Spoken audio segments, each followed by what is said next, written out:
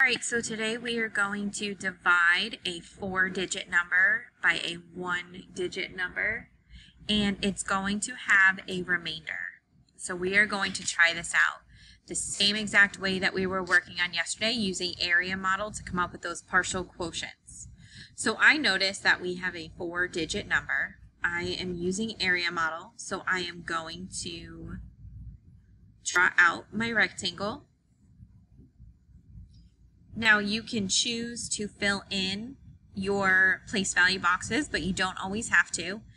In this case, I'm not going to, just to show you how to do it without filling in those place value boxes. So we're dividing by 8. Our divisor goes down on the side. And now I'm going to put my dividend inside of my box. And I'm going to draw my line because that's my first my first thinking. I need to get as close to 1,546 using 8. What times 8 can get me the closest to a 1,000? I'm going to be thinking of a 1,000 because I have a 1 in the thousands place. I already know off the top of my head that 8 times 100 is going to get me 800. So I am going to use 100 as one of my partial quotients. Now I'm going to multiply 1 sorry, 100 times 8, which gives me 800. And we know that whenever we come up with a partial quotient on top, we have to subtract.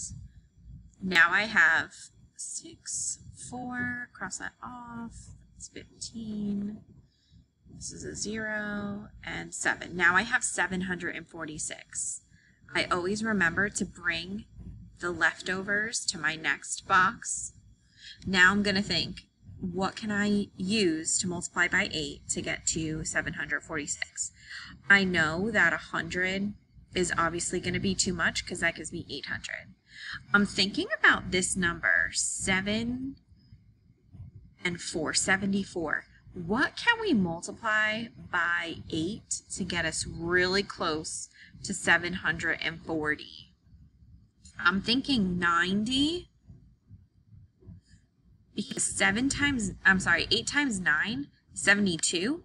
And I'm going to turn this last digit into a 0, thinking that it's 740. So I have to make sure that it's 90 up top.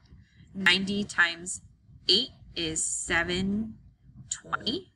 I'm going to subtract again, because every time I subtract, I every time I come up with a partial quotient, I have to subtract 6 2, 0. So now I have 26. I'm going to bring it up to my next box.